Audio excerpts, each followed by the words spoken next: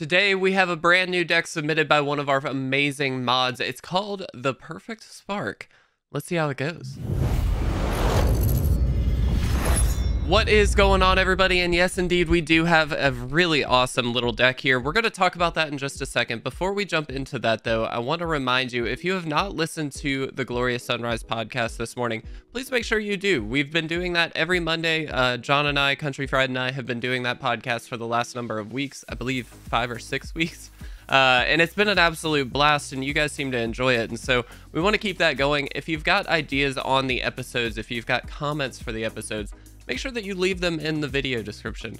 Uh, we do want to talk to you guys and make this a community discussion podcast, not just him and I kind of spouting off about stuff. So feel free, uh, interact with us there. It's a really great opportunity for you to share your opinions. Uh, again, do so safely, do so responsibly. Don't don't put others down and all that stuff. But we're just there to have some fun and talk about magic. So, uh, all that aside. We're going to take a look at today's deck. This is brought to us by Jeremy, who is one of our mods in Discord. I want to say a huge, huge thank you to both uh, Jeremy and Rachel for uh, all the work that they've put in uh, in the Discord, but also continue to put in now on stream as well. Uh, they've really been stepping up and doing a lot of work there. So if you get the opportunity, go ahead and thank them. Uh, very, very great individuals, and we're lucky to have them as part of the It Resolves family. Uh, this is the deck that he put together, and it's called, affectionately, the Perfect Spark. Uh, and the idea is very simple. It is an Anvil deck, so Oni-Cult Anvil. We've got Dragonspark Reactor. Uh, he does have the Patchwork Automaton in here, which is such a great early game play because it's so difficult to deal with. Uh, and the idea is basically we're going to try and build up a lot of counters on all these, uh, or on the uh, reactor as well as the automaton, finish them off with a great Ob Nixilis off of the Patchwork Automaton, or uh, after, off of the uh, Dragonspark Reactor. We've got most of the usual suspects. Voltaic Surge is in here. Uh, we do have the Reinforced Ronin, which can come down and then come back. It's a really nice little enabler for the deck. Uh, experimental Synthesizer, a great way to kind of keep the, the deck moving and also trigger stuff. The, the Blood Fountain. We've got basically all the stuff you'd expect. Uh, we do have a Soulripper in here as well, which is kind of a nice one. Um, I really do like this card. I haven't played with this very much, so I'm curious to see how this one goes.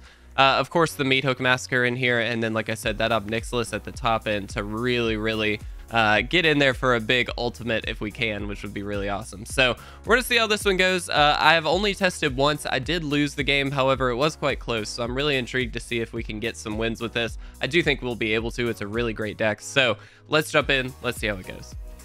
All right, guys, here we are for game number one. Uh, and yeah, I mean, we could definitely keep this. We've got the Deadly Dispute to help us draw further. We also have the Meathook Massacre, which is just super helpful. Uh, let's go ahead and... No reason not to get in for some damage here. Uh, two damage to the face. I'm super into that. So let's go ahead and do it. Uh, and again, here we'll have some options later on in the game, which is great. Uh, excellent. So I think what we'll do is go ahead and create the Blood Fountain token.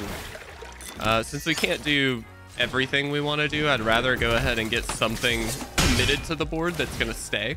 Um, and then we can keep moving forward with these as we go through. But uh, yeah, this seems like a great start, honestly. Um, opponent not doing anything, which is nice. uh, so we kind of get to throw some stuff at him here. Let's do this. Uh, this is part of where this gets so, so good because, again, the, uh, the automaton's not easy to deal with. Um, and this really, really gets the, uh, the counters going on it. So we'll see if we can get this thing up to a really nice uh, power toughness level and uh, start getting some major, major damage in. Nice. Very good. Uh, cool. That's kind of fine. Um, not really upset by that. I'm not going to block. Uh, interesting. So we could just kill this, uh, which is probably just the right play, honestly. Yeah, let's go ahead and do this. Um, well, you know what? I guess we can wait. We don't have to have to pull that trigger quite yet, so let's not. Let's just get in for as much damage as we'd like. The only thing this does punish is like a snakeskin veil. Uh, so maybe it is right to go ahead and do this. So Let's do that. We'll sack that blood token. That's fine.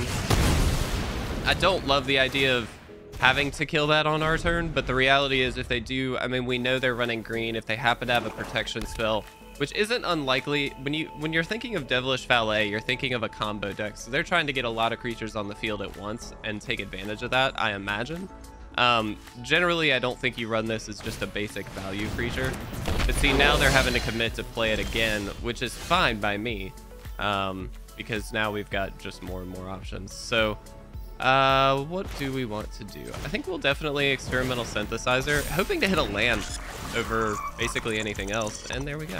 Fantastic. Uh, so let's go ahead and throw this one out. Uh, let's go ahead and throw this one out. uh, and get in for a big attack. Uh, no reason not to. Obviously, they do have to block something here, um, and we basically just have to hope that we can't die this upcoming turn. Um, we've got them to one, though. I'm feeling pretty good. Jeremy, the deck is uh, definitely doing what it's supposed to do, so that's good. Uh, we don't even have the anvil or the reactor. Like, at this point, it's just the automaton taking over the game. Uh, one thing to consider is that we can use the uh, Meathook Massacre to kind of just get the board state where we'd like it. Uh, and then we do need another land, I suppose, but that does get us into some, some majorly good territory here. Uh, we also don't have the uh, the treasure token, or the um, excuse me, the you know what I'm talking about. All right, let's uh, let's set up so we can just do this. Yeah, okay, so this just wins us the game. All right, so you can sacrifice something to the anvil, which deals one to the opponent. So that's the the automatic win. That was really awesome. That was the most efficient game I think I could have imagined. So well done, Jeremy. Let's jump into game two. What's up guys? Before we jump into the next game, I just want to remind you if you would like to pick up this month's Patreon rewards, feel free to do so at patreon.com slash itresolves. All right guys, here we are for game number two. Uh, this is an interesting hand, but I'm going to try it. Uh, as a quick reminder as well, uh, as we're jumping into game two here, guys, um, if you have not hung out with John on stream, please feel free to do so. Uh, he's really been having a blast with it. You guys have really been, you know, showing up in uh, in troves to, to hang out with him and have a good time. We really appreciate that. It's a great opportunity for us to do, as it resolves, to do a bit more of a community push, which I think is really great. Uh, I've been wanting to do that for a long time, and I just, time-wise, never worked out for me. Uh, thankfully, John was so kind and was able to step in and have a great time with us. And so I do really appreciate that opportunity from him. Uh, and, you know, hopefully we can we can all have a great time. I think that's really the goal. Um, I'm gonna go ahead and throw this out. I know we're wasting technically a spell here. We probably should have played in a slightly different order, but uh, I'm just gonna go ahead and get that out. And yeah, we're gonna have to ditch an anvil here, which isn't ideal, but that's fine. Um, sure. What this does allow us to do is sacrifice the synthesizer to the anvil and get a block. What I have found uh, in testing with this deck is that not everybody remembers that you can do this at instant speed. So they'll a lot of times just attack in, like right now, and we could just do this. Um, and get a basically free block. um, would love to be able to play that Deadly Dispute, but... Uh, we don't have, by the way, uh, an artifact creature. Um, is that what? Yeah, okay. Interesting. Um, I think we just do this. I don't love doing this because I would rather get like something else down, but I think that's fine. Uh, oh, it's during your turn. Duh. of course. Uh, so that was a bit of a mistake on my end. That's one thing to consider. The anvil only creates the choke, the the one one if it's your turn. Good to know. Uh, obviously, I don't play with anvil all that often, so I have played it once, but all right. So they're obviously just trying to mill a bunch. Uh, looks like Simic mill. They do have Slogurk in the the or in the uh, graveyard here. Very curious to see what they're trying to do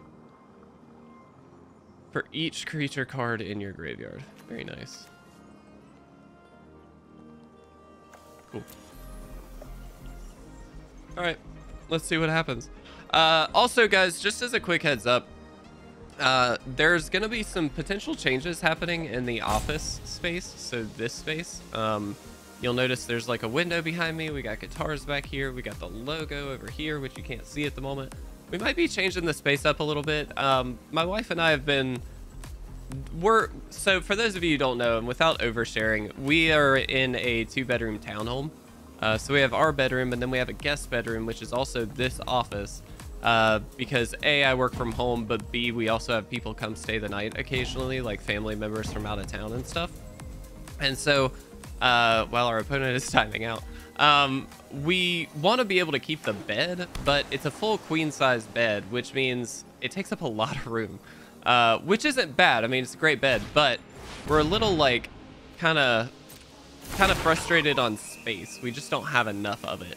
Uh, and so what we're trying to do is minimize the space that it's taking up. And with that, I might be getting a new desk space. We might be um, creating a little bit of a different vibe, which I'm excited about because we kind of needed a little bit of a shakeup, I think, in this room. Um, but that does mean like desk space, everything might change. So just keep that in mind. Um, I'm gonna go ahead and do this. We can voltaic surge or voltage surge. Wow. Uh, let's do this. That's fine. We do want to keep some creatures on the battlefield for the uh, the Soulripper here. I feel like that's kind of important. Um, yeah, I think we'll just pass now. Um, here's the thing. What we can do is voltage surge the spider without having to sacrifice an artifact if we want. Oh. All right, well, this makes my decision a lot easier. Oh no, crap. That was just a mistake. Oh no. No, that was an oops. All right, that's okay. Uh, I was trying to, I didn't mean to submit zero. I meant to sacrifice the blood token and I just clicked the wrong thing. That was really silly. Um, cool. Well, it happens, you know, that's part of life. One thing that uh, Country Fried and I do talk about on the podcast is the the realism. So we talked about net decking today, uh, which was a really, really interesting topic as it turned out. But uh, one of the things that we kind of discussed there is that some people especially content creators and i don't know how we got to this topic but a lot of content creators love to you know like not fake it they don't fake anything but what they're doing is like you open up with a win as as john said you open up with a win and you close with a win. That's how you keep viewership and all that stuff. And a lot of content creators are kind of i won't say guilty of doing that but definitely you know they they try and get the wins and show you the wins and not necessarily show you everything. Uh, and that's okay. It's not like that's the end of the world or anything like that. But it is just one of those things where it's like, I, I personally don't love that.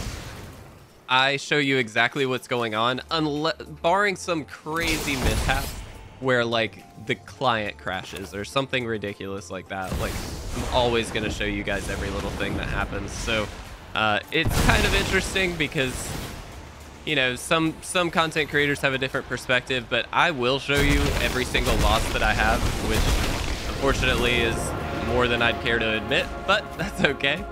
Um, honestly, I think we just plus up both here.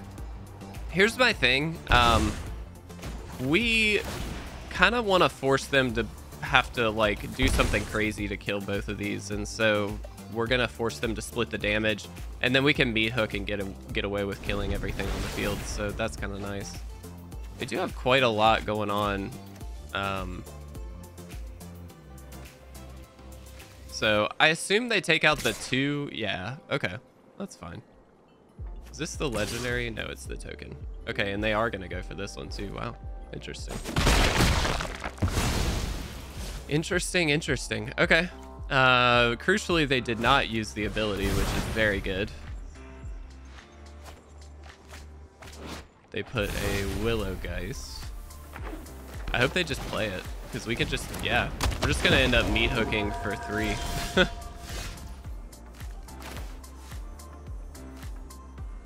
yeah, let's do it. Uh, we're going to meat hook for three. Seems like an easy thing to do.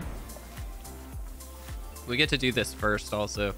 Uh, so we'll see. They may have like some counter spell or something strange. I kind of doubt a counter spell. Oh, they're gonna fading hope the Willow Geist. Sure. That's pretty good. Scry bottom, that's helpful to know. Doesn't matter which Excellent. Uh, we'll play you. I am going to go ahead and sacrifice the fountain.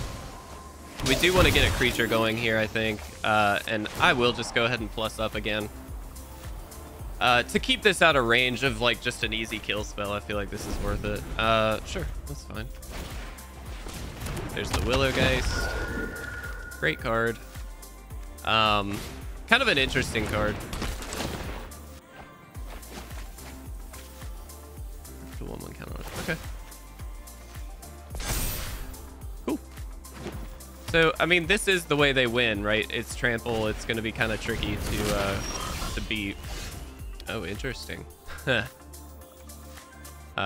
yeah, that's very interesting.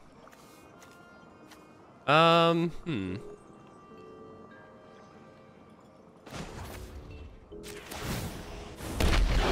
All right, hear me out.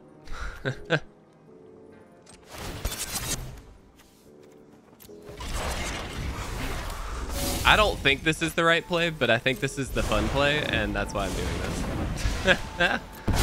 We're here for the fun plays. Um, all right.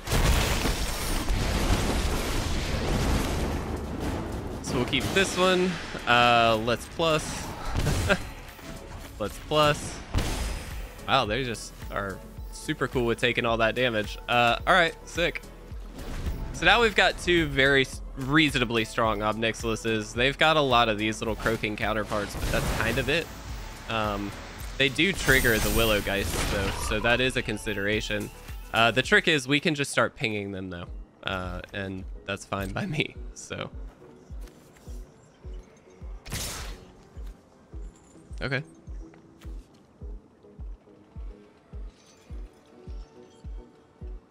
Uh, all right, cool. There's really no reason in blocking here then. We can just kind of take it because uh, this Ob Nixilis is going to go down.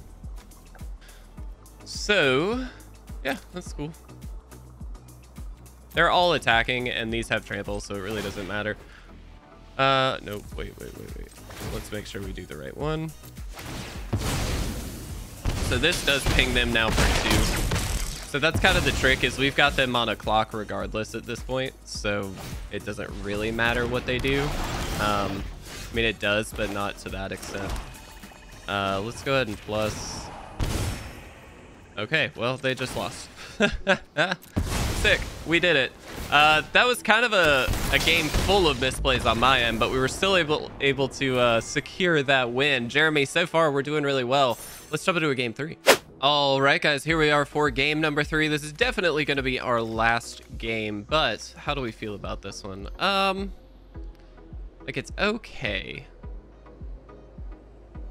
I vote we try it. I'm not sold on it. It doesn't have a ton uh, that we get to do right off the bat just because there's not, we need to have something like a blood fountain or, you know, something to throw out just a basic artifact that we can then sack to the anvil to kind of get it going. Um, but we'll see. We could be up against a uh, similar deck here, although it looks like maybe not. Uh, interesting. Okay. Um, I'm going to play the reactor.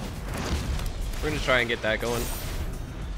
Um, we've got multiples and these do quite a bit of damage the earlier you get them down. So I think at this point, we're just hoping to grab a land. Uh, a red source would be ideal so we can voltage surge plus anvil uh, or plus reactor, whichever one we see fit. Um, and yeah, I mean, they're going to get in for a damage here, but I'm not, I'm not particularly worried about that uh, so much. Interesting. Okay. Um, not exactly what we wanted, for sure. Let's go ahead and play the anvil here. That's gonna step that up, and then I think we just pass. Again, we're kind of in setup, and we're getting a little unlucky by not hitting lands, but the reality is this isn't a very high land count style deck. This is maxing out at three, so this isn't a surprise by any means. Um, so this is Esper something? Okay. Another anvil. My goodness, we have so many anvils. Um,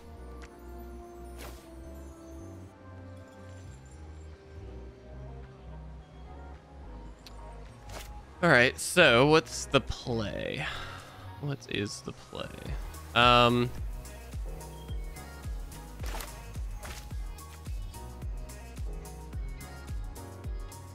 hmm. It's a really sticky situation we're finding ourselves in. I'm gonna anvil.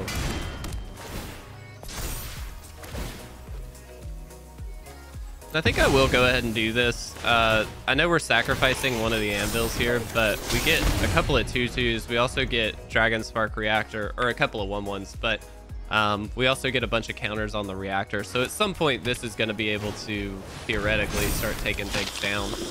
Uh, we also can just voltage surge on this to get rid of it. All right. Uh, not great. That's like the worst land we could have drawn. Um, but that's fine. Uh, I think we just kind of like have to deadly dispute.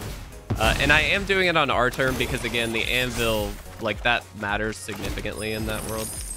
Uh, we should have waited on the land. That would have been helpful. Um,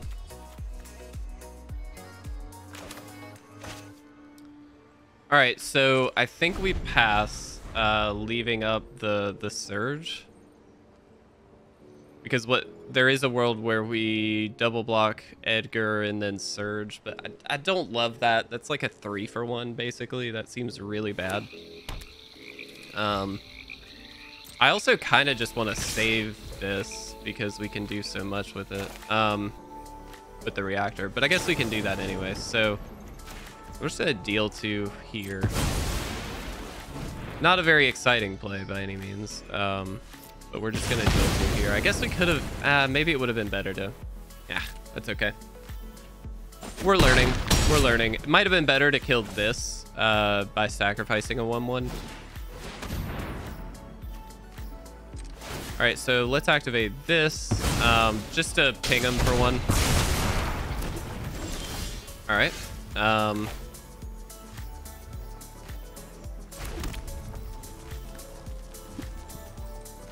Do we have to go ahead and hit the reactor is my question. Like it's probably correct to do that. So yeah, I'm going to. Uh, we can get rid of that. We do get our little 1-1 in the process, which is nice. Um, all right. Don't love this. We're definitely on the back foot here. Um, and a lot of that is due to my own mistakes here. So we're we're gonna try and do the best we can, but we'll see. Um,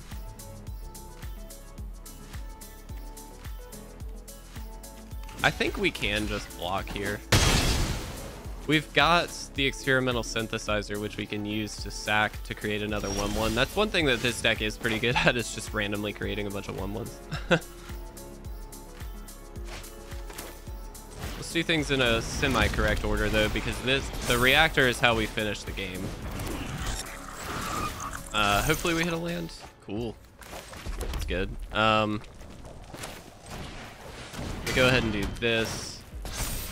I'm gonna go ahead and do this. This creates a bunch of one ones and gets the reactor up a good bit here. Um, all right, excellent. So, I mean, we're not quite halfway there, but we're getting there. Um, and we are able to deal some damage here. So we'll see what happens. Uh, we're not in danger of dying yet. At least not super in danger of dying. Um, they are going to do that. That's fine. We'll just go ahead and sack. Might as well ping them. I mean, there's no reason not to. Um, we do have the reinforced Ronin that we can use to kind of re-trigger everything here, which is great. Um, so we'll see what they do like just play a land. Okay. Um, we can just hive also, but I think this is just better.